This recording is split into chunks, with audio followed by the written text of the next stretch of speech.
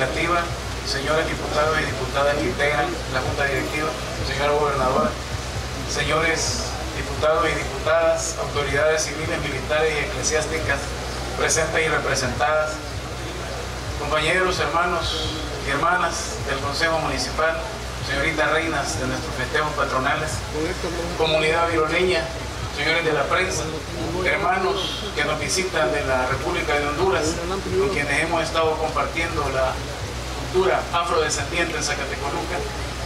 Esta tierra se viste de gala a recibir a la Asamblea Legislativa en sesión solemne conmemorando los 250 años del natalicio del más grande viroleño de todos los tiempos. Nos referimos al presbítero doctor José Simeón Caña y Villacorta.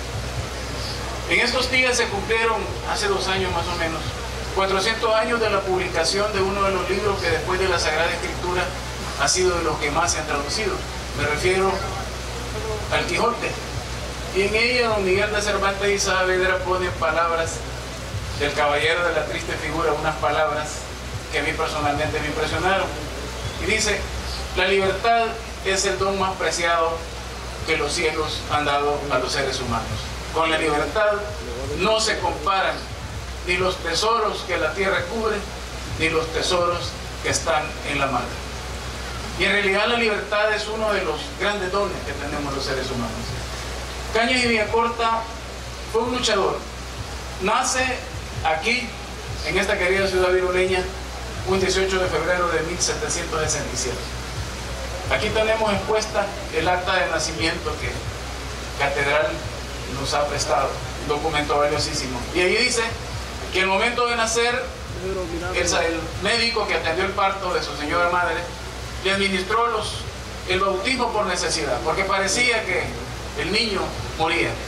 Pero lo que no se sabía es que en ese cuerpo frágil había un espíritu indómito, un espíritu fuerte, un alma grande, que desafiando cualquier reto iba a llegar a escribir áureas páginas en la historia patria y en la historia centroamericana. Se traslada junto con su familia para Guatemala, antigua Guatemala, donde hace sus estudios de filosofía en el Colegio Tridentino. Se gradúa cum laude, todos los grados académicos que obtuvo. Llega a ser rector de la Universidad San Carlos de Borromeo y le toca ser el sucesor del padre José Antonio Liendo y Goicoechea, a quien otro prócer de la independencia en una de sus obras, nos referimos a don José Cecilio del Valle, llamó el padre de la ilustración en Centroamérica. A ese hombre, Aliendo y Goicoechea, le tocó suceder a Caña y Villacorta como rector. Y no solamente asumió la reforma educativa ilustrada de aquella alta casa de estudios, sino que la profundizó. En esa universidad se forjaron los hombres que posteriormente habrían de llevar a cabo la independencia centroamericana. Cañas luego se convierte en diputado, diputado provincial, luego es diputado en la Asamblea Constituyente ahí en Guatemala, y como diputado se caracterizó por muchas cosas, pero vamos a mencionar nada más tres de ellas. Trabajó por una ley que aboliera una condición infame que decía que los hijos nacidos fuera del matrimonio no podían ir a la Universidad San Carlos de Borromeo. Caña luchó para que eso quedara sin efecto.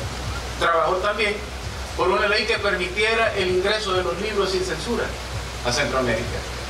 E igualmente trabajó para que el modelo aristotélico escolástico que en aquellos días imperaba en la Universidad San Carlos de Borromeo fuera desplazado y comenzara a usarse la demostración en las carreras científicas y comenzara a ponerse la Universidad San Carlos de Borromeo a la altura de las mejores universidades europeas de aquellos tiempos y sin duda alguna lo logró.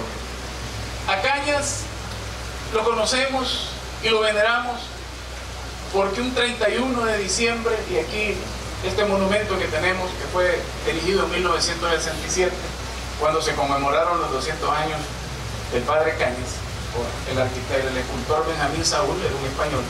Ahí podemos ver una mujer con su hijo recién libertado, al fondo, un hombre que recién habría sido liberado, y a Cañas lo vemos ahí en una posición demostrando esa altivez que tienen los grandes de la historia ya con los esclavos liberados.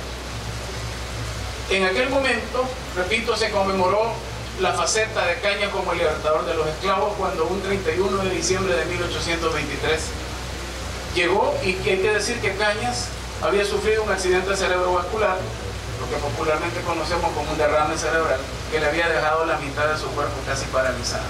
Cuando dijo, vengo arrastrándome, que aunque estuviera agonizando, agonizando, viniera a hacer una propuesta benéfica para la humanidad de humanidad, con todo el celo que debe un diputado defender las causas interesantes para la patria, propongo en esta sesión solemne se declaren libres a nuestros hermanos los esclavos. Usó varias palabras. Hermanos a los esclavos, eso significa igualdad. Habló de libertad, habló también de que había que considerarnos a todos hermanos y hermanas en esa sociedad.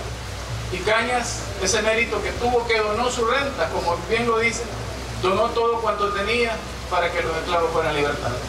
Hay que decir que el prócer Cañas murió pobre, pobre de solemnidad, murió allá en San Vicente, allá cuidando a unos enfermos de cólera morbus, él mismo, ya con su salud tanto quebrantada, a los 60 años de edad, murió joven muere el mismo, pero nos dejó un legado académico, un legado de y legado de muchos valores. Considero que en estos momentos Cañas nos dice que la educación es base fundamental para superar muchos problemas. Nos enseña cómo debemos de trabajar en pos de los objetivos que nos presentamos. Sobre todo, nos enseña que con la fe puesta en Dios podemos superar los problemas por graves que sean. Termino mi participación recordando una crónica necrológica que se publicó en aquellos tiempos en que Caña fallece. Su parte final dice que la posteridad venere sus cenizas y que la providencia haya premiado virtudes. Loor, honor para el hombre más grande de todos los tiempos de Zacatecoluca, de Salvador, de Centroamérica, que hay que decirlo, en aquellos momentos en que la, la abolición de la esclavitud se da en Centroamérica. Esta región se pone a la vanguardia, porque aquí se abolió antes la esclavitud que en muchos países de toda la América Latina. Muchísimas gracias. Muchísimas gracias.